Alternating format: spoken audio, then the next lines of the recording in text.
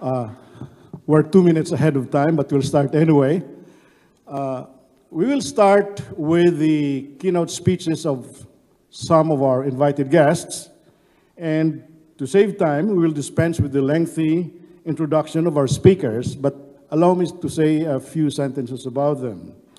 Our first keynote speaker, ladies and gentlemen, is Ms. Lorraine Belo Chan, Director, President, and CEO of Wilcon Depot, Inc., whose IPO was one of the most successful in uh, 2017. As you know, Wilcon is the country's leader in home improvement and construction retail store.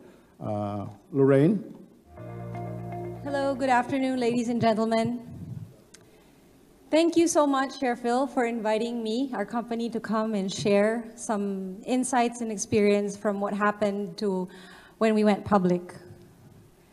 It has been a little over a year since we went public on March 31st, 2017. It's quite fast, it's already 2018. It's quite a whirlwind. As things began to settle down, we realized that going public is quite similar to getting married. Putting our hearts, mind, and soul into it, we have to be mentally, financially, and even physically prepared for it. No amount of preparation could have made us ready for the change that was to come. The daily life for a company, I'm sure you know, is a constant cycle of challenges and gratification. But a public company's life is akin to living in a glass house, where all your travails and triumphs are under public scrutiny.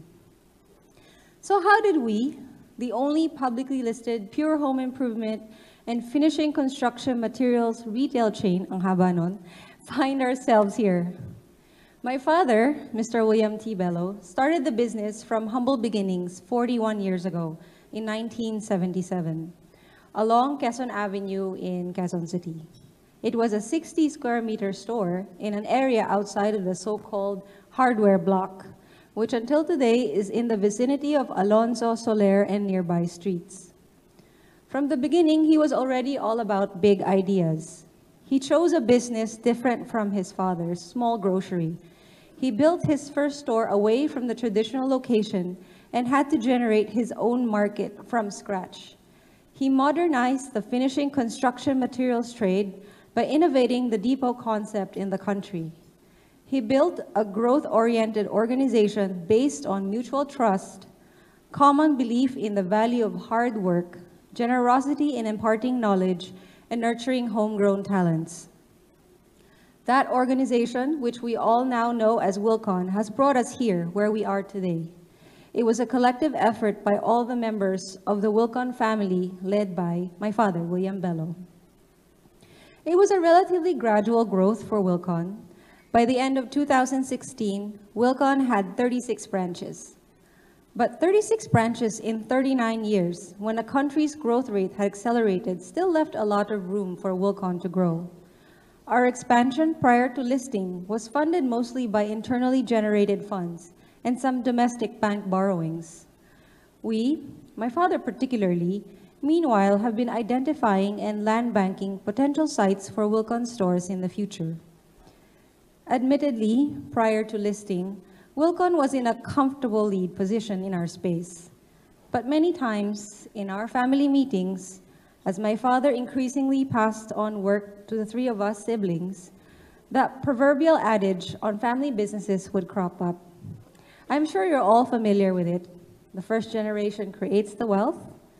The second, hopefully we will grow it. And the third, will squander it. I've heard this quite often. As a family, too, we wanted to preserve our father's legacy.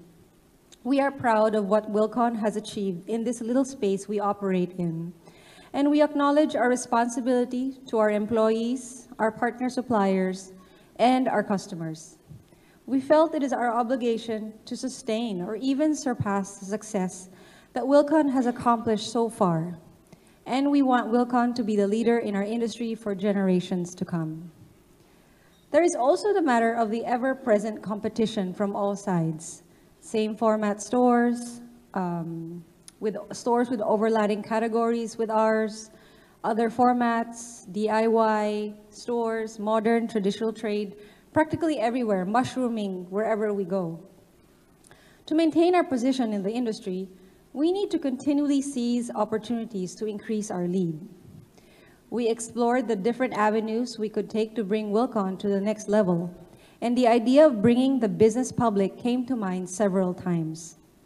We believed it was the best way to cement our fathers and the Wilcon organization's legacy, which at the same time will give us the ready funds to accelerate our growth. Being a private, family-owned company for so long, so long and being quite successful tends to make an organization complacent. There is not enough impetus to improve because everything is seemingly working out great until you wake up to a changed world and you scramble to catch up. So we thought bringing the business public will force us to leave our comfort zone. But nobody wants to leave their comfort zone, but we did it anyway. Augment and formalize the organization, clean up, streamline, reconfigure our systems and processes to be poised for the expanded operations. When we were preparing for the listing, we decided to list only the retail part of the business to more efficiently focus the equity funds from the public on the most productive part of the business. We took out the retail operations from the now parent company, Wilcon Corporation, and transferred this to Wilcon Depot Inc. We reorganized the board of the parent company to include independent directors and formed the board of Wilcon Depot initially with two independent directors and subsequently increased it to four. So our board is actually majority independent directors. We solicited recommendations for independent director candidates from our advisors who have had experience in the network. We then chose the best in terms of qualifications, experience, and fit to complement our management team. This has also made us more mindful in the review and streamlining of our systems, processes, and controls, that these should pass muster with our independent directors and therefore our board. When we were pricing our stock, we as a family decided we wanted to give back to our employees, loyal customers, and partner suppliers by giving them the opportunity to share in the upside. After all, they were very instrumental in Wilcon's success as a business. In fact, we opted for an all-domestic offering, if any of you didn't know that, which meant a lot of retail investors would get the opportunity to participate.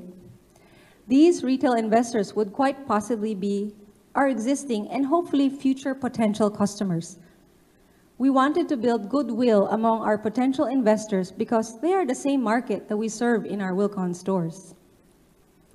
After we were listed, we started to open up to our untapped market, which at that time were the foreign institutional investors. Although we did not actively seek them out, we met with them, with all the buy and sell sides who expressed interest through one-on-one -on -one meetings, conference calls, sell-side sponsored conferences, and a non-deal roadshow. All these activities help boost our share price by introducing the company to a much wider and more diverse and longer-term investor audience. These interactions were also venues where we learned various insights and perspectives about our industry from different areas of the, of the world, actually. We believe that since listing, the demand for our stock from institutional investors would not have been as robust had the company not delivered on its promises. The best investor relations tool that propelled our share price to where it is now is a combination of financial performance, engagement and transparency with our current and potential shareholders, and excellent company brand marketing. Of course, in hindsight, it helped that our listing was timed perfectly. I was just talking about this with my IPO batchmate, uh, Cebu Landmasters. Now that we have achieved a well-diversified mix of investors, we plan to continue to engage with them and be open to any interested investors. For our small investors, we have thus far conducted two stockholder meetings where we interacted with our retail investors. We also believe, though, though, that the best way we can reward our retail investors is to consistently deliver earnings growth that would hopefully translate into a fair share price and continuous dividend payouts. To ensure continued earnings growth, we remain bullish about our expansion program. In fact, our founder announced in our last stockholders meeting that we may be able to finish our 29 store expansion program ahead of schedule, barring any major untoward event beyond our control. Wilcon has always survived and grown despite the ups and downs of the construction industry and the economy as a whole. The home improvement and finishing construction supplies retail industry has a stable renovation and maintenance market that sustains it in times of construction or property development downturns. We just have to stay on our toes and keep our business sense honed to be able to continue to accurately read our market and stay ahead of the game. In closing, let me express my appreciation for all the trust that our investors have placed in Wilcon. We want to harness this success in the equity market into operational advantage. In terms of marketing, being listed gave us added validation to our market as Wilcon's brand equity significantly increased.